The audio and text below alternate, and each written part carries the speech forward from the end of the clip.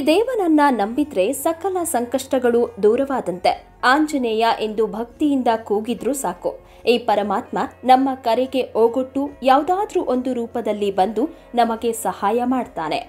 ಸಂಜೀವಿನಿ ಪರ್ವತವನ್ನ ಎತ್ತಿದ ಈ ಮಹಾ ಮಹಿಮನ ಈ ದೇಗುಲಕ್ಕೆ ಹೋದ್ರೆ ಬಂದ ಕಷ್ಟಗಳೆಲ್ಲವೂ ಮಂಜಿನಂತೆ ಕರಗಿ ಹೋಗುತ್ತಂತೆ.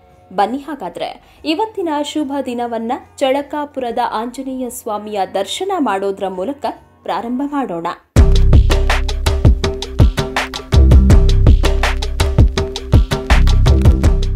ಸುಮಾರು ಆರು ಸಾವಿರ ವರ್ಷಗಳಷ್ಟು ಪುರಾತನವಾದ ದೇವಾಲಯ ಎಂಬ ಹೆಗ್ಗಳಿಕೆಗೆ ಪಾತ್ರವಾದ ಚಳಕಾಪುರದ ಆಂಜನೇಯ ಸ್ವಾಮಿಯು ಸ್ವಯಂಭೂವಾಗಿ ನೆಲೆ ನಿಂತಿದ್ದು ಕೈಯನ್ನ ಮೇಲಕ್ಕೆ ಎತ್ತಿದ ರೂಪದಲ್ಲಿ ದರ್ಶನವನ್ನ ನೀಡ್ತಾನೆ. ಈ ಆಲಯವು ಉತ್ತರಾಭಿಮುಖವಾಗಿದ್ದು ವಿಶಾಲವಾದ ಪ್ರಾಂಗಣ, ಸುಂದರವಾದ ಗರ್ಭಗೃಹವನ್ನ ಹೊಂದಿದ ದೇಗುಲದ ಬಾಗಿಲ ಮೇಲೆ ರಾಮ, ಸೀತೆ, ಲಕ್ಷ್ಮಣ ಹಾಗೂ ಆಂಜನೇಯನ ಮೂರ್ತಿಯನ್ನ ಅಂದವಾಗಿ ಚಿತ್ರಿಸಲಾಗಿದೆ. ಈ ಕ್ಷೇತ್ರಕ್ಕೆ ಬಂದು ತೆಂಗಿನಕಾಯನ್ನ ಕಟ್ಟುತ್ತೀವಿ ಅಂತ ಹರಕೆ ಹೊತ್ಕೊಂಡ್ರೆ ಮಕ್ಕಳಿಲ್ಲದ ದಂಪತಿಗಳಿಗೆ ಉತ್ತಮವಾದ ಮಗು ಹುಟ್ಟುತ್ತಂತೆ. ಅಲ್ಲದೆ ಇಲ್ಲಿಗೆ ಬಂದು ತೆಂಗಿನಕಾಯಿ ಕಟ್ಟೋದ್ರಿಂದ ವ್ಯಾವಹಾರಿಕ ಸಮಸ್ಯೆ, ಆರ್ಥಿಕ ಸಮಸ್ಯೆ, ಇನ್ನೂ ಅನೇಕ ಸಮಸ್ಯೆಗಳು ದೂರವಾಗಿ ಮನಸ್ಸಿನ ಇಷ್ಟಾರ್ಥ ಸಿದ್ಧಿ ಆಗುತ್ತೆ ಎಂದು ಹೇಳಲಾಗುತ್ತೆ. ಇನ್ನು ಈ ದೇವಸ್ಥಾನಕ್ಕೆ ಬಹಳ ದೊಡ್ಡ ಇತಿಹಾಸವಿದ್ದು, ವನವಾಸದ ಸಮಯದಲ್ಲಿ ರಾಮ ಲಕ್ಷ್ಮಣರು ಈ ಸ್ಥಳಕ್ಕೆ ಬಂದಿದ್ದರಂತೆ ಆಗ ಇಲ್ಲಿ ಚಳಕಾಪುರನೆಂಬ ರಾಕ್ಷಸನನ್ನ ಶ್ರೀರಾಮಚಂದ್ರನು ಸಂಹರಿಸಿದ್ದನಂತೆ. ಹೀಗಾಗಿ ಈ ಸ್ಥಳಕ್ಕೆ ಚಳಕಾಪುರ ಎಂದು ಕರೆಯಲಾಗುತ್ತೆ ಎಂದು ಇಲ್ಲಿನ ಸ್ಥಳ ಐತಿಹ್ಯದಲ್ಲಿ ಉಲ್ಲೇಖಿಸಲಾಗಿದೆ.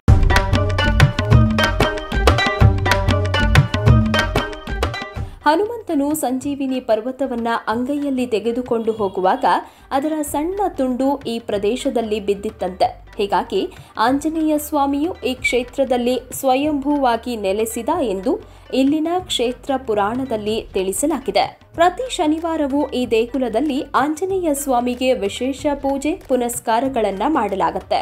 ಶನಿವಾರದ ದಿನ ಇಲ್ಲಿ ನಡೆಯುವ ಮಂಗಳಾರತಿ ಸಮಯದಲ್ಲಿ ಕೋತಿಗಳು ಬಂದು ದೇವರಿಗೆ ನಮಿಸುತ್ತವೆ ಎನ್ನುವುದು ಈ ಕ್ಷೇತ್ರದ ಪವಾಡ ಎಂದೇ ಹೇಳಬಹುದು. ಈ ಆಂಜನೇಯ ಸ್ವಾಮಿಯ ಆಶೀರ್ವಾದ ಪಡೆಯಲು ಕರ್ನಾಟಕ ಮಾತ್ರವಲ್ಲದೆ ಹೊರ ರಾಜ್ಯಗಳಿಂದಲೂ ಭಕ್ತರು ಆಗಮಿಸುತ್ತಾರೆ ಇನ್ನು ಹನುಮಾನ್ ಜಯಂತಿ ಶ್ರೀರಾಮ ನವಮಿ ಅದ್ದೂರಿಯಾಗಿ ಆಚರಿಸೋ ಈ ದೇಗುಲದಲ್ಲಿ ವರ್ಷದಲ್ಲಿ ಎರಡು ಬಾರಿ ದೇವರ ಜಾತ್ರೆಯನ್ನ ಅದ್ದೂರಿಯಾಗಿ ನಡೆಸಲಾಗುತ್ತೆ.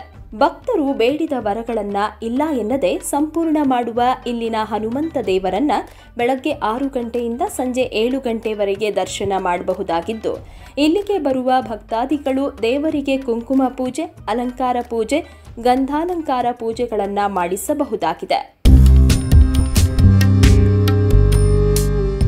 ಅಂಜನಿ ಪುತ್ರ ನೆಲೆ ನಿಂತಿರುವ ಈ ಪುಣ್ಯ ಕ್ಷೇತ್ರವು ಬೀದರ್ ಜಿಲ್ಲೆಯ ಭಾಲ್ಕಿ ತಾಲೂಕಿನ ಚಳಕಾಪುರ ಎನ್ನುವ ಪುಟ್ಟ ಊರಿನಲ್ಲಿದ್ದು, ಈ ಕ್ಷೇತ್ರವು ಬೆಂಗಳೂರಿನಿಂದ ಏಳ್ನೂರ ಹದಿನೆಂಟು ಕಿಲೋಮೀಟರ್, ಹುಬ್ಬಳ್ಳಿಯಿಂದ ನಾನೂರ ಹದಿನಾರು ಕಿಲೋಮೀಟರ್, ಗುಲ್ಬರ್ಗಾದಿಂದ ಎಂಬತ್ತೈದು ಕಿಲೋಮೀಟರ್, ಬೀದರ್ನಿಂದ ಮೂವತ್ತೆರಡು ಕಿಲೋಮೀಟರ್, ಭಾಲ್ಕಿಯಿಂದ ಇಪ್ಪತ್ತೆಂಟು ಕಿಲೋಮೀಟರ್ ದೂರದಲ್ಲಿದೆ.